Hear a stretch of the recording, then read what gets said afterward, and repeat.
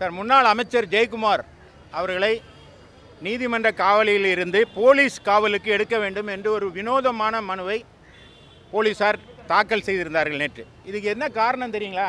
அதாவது தொடர்ந்து அவரை சிறையில் வைக்கணும். அவர் மீது போடப்பட்ட வழக்கு ஐநூற்றி ஆறு five naught six four two அதாவது மிரட்டல். அந்த வழக்கில் உடனடியாக பெயில் கொடுத்துருவாங்க.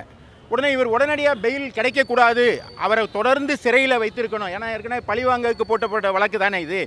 அதனால் அவரை தொடர்ந்து சிறையில் வைக்கிறதுக்கு பல்வேறு யுக்திகளை திராவிட முன்னேற்ற கழக அரசும் காவல்துறையினரும் தொடர்ந்து செய்து வர்றாங்க. அதில் ஒரு அங்கம்தான் இந்த போலீஸ் கஸ்டடி கேட்குறாங்க போலீஸ் கஸ்டடி கொடுக்கறதுக்கு சட்டத்தில் என்ன விஷயங்களுக்கு போலீஸ் கஸ்டடி கொடுக்கலான்னு இருக்குது அப்படி பார்த்தா ஒரு கொலை வழக்கில் ஆயுதங்களை கைப்பற்றணும் ஆட்களை அடையாளம் காட்டணும் அப்படிங்கிறதுக்காக போலீஸ் கஸ்டடி கொடுக்கலாம்.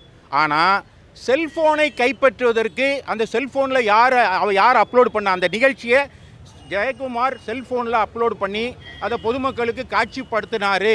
அது ஒரு பெரிய தவறு என்று சொல்லி அந்த செல்ஃபோனை கைப்பற்றுவதற்கு அவரை போலீஸ் கஸ்டடியில் கொண்டு போகணும்னு கேட்டாங்க. ஆனால் சென்னை உயர்நீதிமன்றம் ஏற்கனவே தெளிவாக ஒரு தீர்ப்பு கொடுத்துருக்கு. ஜஸ்டிஸ் தேவதாஸ் கொடுத்த ஜட்ஜ்மெண்ட் அது என்ன சொல்லியிருக்காருன்னா ஒரு செல்ஃபோனை கைப்பற்றணுங்கிறதுக்காகலாம் போலீஸ் கஸ்டடி கொடுக்க முடியாதுன்னு தெளிவாக தீர்ப்பு இருக்குது ஏனென்றால் இப்போ அப்லோடு பண்ணது யார்? அந்த அதை அந்த அந்த சம்பவம். கல்லெறிகிற சம்பவம் அவர் அவரை வந்து கையை கட்டி கூட்டு போகிற சம்பவங்களை யார் அப்லோடு பண்ணா அப்படின்னா அதை செய்வதற்கு வல்லவர் அதை கண்டுபிடிக்கிறதுக்கு வல்ல வல்லமை மிக்கது எதுன்னா சைபர் கிரைம் பிரான்ச். அது போலீஸார் கையில் தானே இருக்குது அவங்கள்ட்ட தானே நீங்கள் போய் கேட்டிருக்கணும். இவரை அழைத்து போலீஸ் கஸ்டடிக்கு கொண்டு போகிறதுனால எந்த பலனும் ஏற்பட போவதில்லை. இது இவருக்கு பெயில் கிடைப்பதை தாமதப்படுத்துவதற்காக செய்கிற தந்திரம் என்று வாதிடப்பட்டது. பல்வேறு நீதிமன்ற தீர்ப்புகளை மேற்கோள் காட்டி சொன்னோம். கா காவல்துறை தரப்பில் மிக கடுமையாக எப்படியாவது அவரை இப்போ நீதிமன்ற கா காவல்லிருந்து எடுத்து போலீஸ் காவலுக்கு அஞ்சு நாள் வேணும்னு கேட்குறாங்க இது என்ன முறையானது இல்லை. நீதிபதி பல குருவே பல்வேறு குறுக்கு கேள்விகளெல்லாம் கேட்டார்.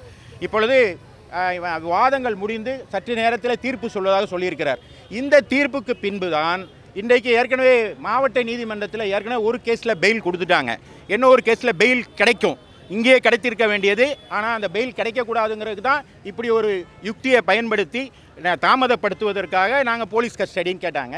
இப்போ அந்த போலீஸ் கஸ்டடியை நாங்கள் இந்த பக்கம் அப்ஜெக்ட் பண்ணிட்டு இருக்கும்போதே காலையில் அவருடைய இன்னொரு ம- ஜாமீன் அதாவது நரேஷ்குமார் கொடுத்த கம்ப்ளைண்ட்டில் அதை இன்னை இன்றைக்கு ஜாமீன் மனு சென்னை உயர்நீதிமன்ற வளாகத்தில் இருக்கிற மாவட்ட நீதிமன்றத்தில் வந்துச்சு. அங்கே நாங்கள் ஆஜராகி இப்படி ஒரு பெட்டிஷன் பெண்டிங் இருக்கிறதுனால அந்த வழக்கை எடுக்க முடியாது. எனவே திங்கட்கிழமை விசாரணை நடத்தணும்னு தான் அரசு தரப்பில் சொன்னாங்க. ஆனால் நீதிபதி அதை ஏற்றுக்கொள்ளாமல் மத்தியானம் போட்டிருக்காங்க. ரெண்டே காலுக்கு அந்த வழக்கை விசாரணை இந்த வழக்கினுடைய தீர்ப்பு தெரிந்ததும் அந்த வழக்கு விசாரணை மேற் மேற்கொள்ளப்படும். அதற்கு பின்பு ஜெயக்குமார் வெளியே வருவார்.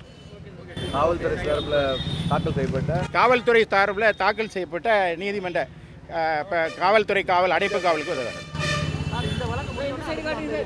ஆமாம் இந்த தீ இதில் இதில் இதில் தெரியாம இதில் தீர்ப்பு கொடுக்காம ஜாமீன் வழக்கை விசாரிக்க முடியாது. ஏன்னா ஜாமீன் வழக்கை தாமதப்படுத்துறதுக்கு தானே இப்படி ஒரு மனுவையே இங்கே போட்டிருக்காங்க. அதனால் இதில் அவரை வந்து போலீஸ் காவலுக்கு அனுப்பலாமா வேண்டாமா அப்படிங்கிறத பற்றி வழக்கு இப்பொழுது நடைபெற்றது. நான் அனுப்பக்கூடாது என்பதற்கான வாதங்களை நாங்கள் வைத்தோம்.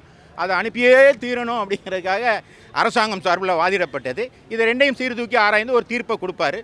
அவ்வாறு கொடுத்த பின்புதான் அவர் ஜாமீன் மீ- மனு மீதான வழக்கு விசாரணையை நாங்கள் மேற்கொள்ள முடியும். வழக்கு விவாதங்களை அல்லது எங்களுடைய தரப்பு நாதங்களை அந்த விசாரணை நடத்த முடியும் என்பதால் தற்போது ஒத்திவைக்கப்பட்டிருக்கிறது.